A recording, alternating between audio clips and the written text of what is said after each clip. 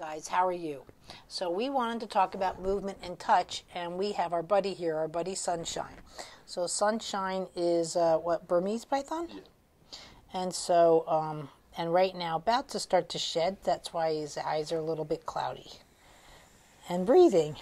I don't know if you hear the breathe. So what I was talking about before, and I really wanted to show you the snake. A lot of people just don't realize the significance of touch, and touch is what I've really just been studying for years. So when you come over someone and you come above them, see if I come here with her, this is SMA type 2, also post operative hip surgery bilateral six weeks, right? So to me to bring up her leg, it's very difficult with this touch. But if I come underneath here, she has complete range of motion and everything that I need. So I would never a movement lesson, and this is what I teach in the trainings. I don't teach touch from above unless, again, you're working with in such a way. But I also wanted to show you that with sunshine. If I come here and try to pick up sunshine, to, to pick up like this, see, a tree branch doesn't work like this.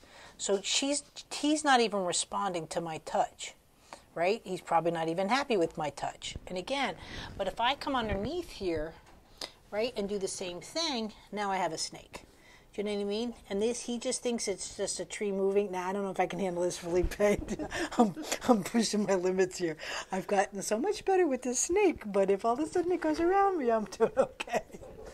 it's pretty bad when a little girl is braver than I am. But again, see the difference? Now, everybody can come here and pick up our. He doesn't live here, by the way, guys. Um, but again, with this, he's not going to respond. So with this, you're not getting the biology of the snake or the touch. With this, again, I'm right here and he can come out and start playing and, and just start responding to my touch.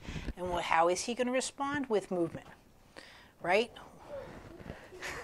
And so the same thing with her. So come here, my touch, I'm not hurting.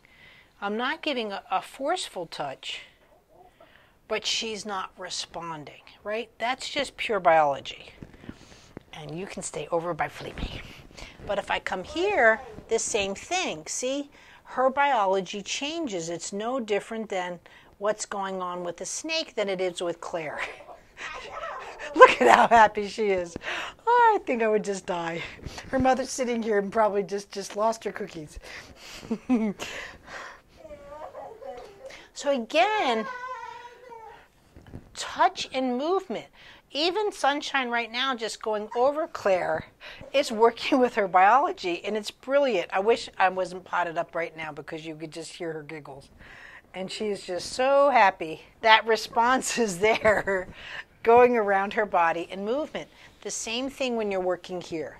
So when you're someone and you're tell, being told to for range of motion and all of that, really what you learn again here movement lesson. You're just not going to get the same response.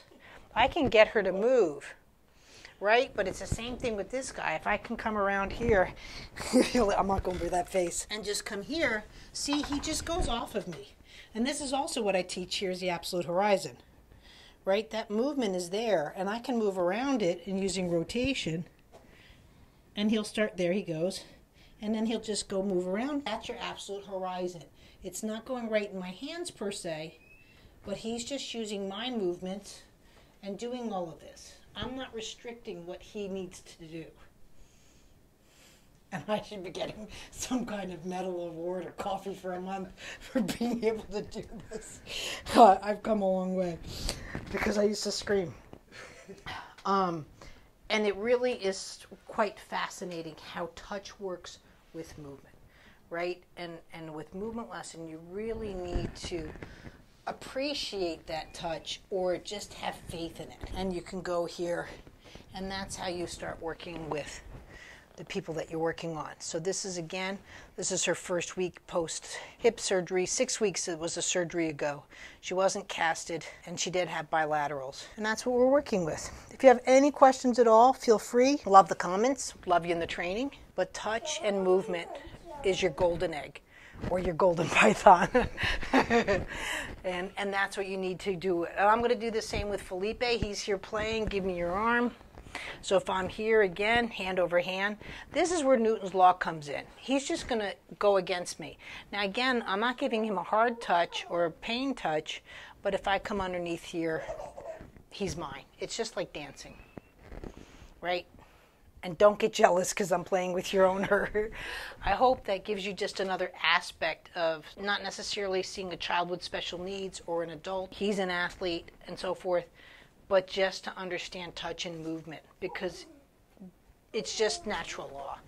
And it's in animals and it's in us. And you really, if you learn to work with it, you'll get so much more helping someone with movement. Thanks, guys.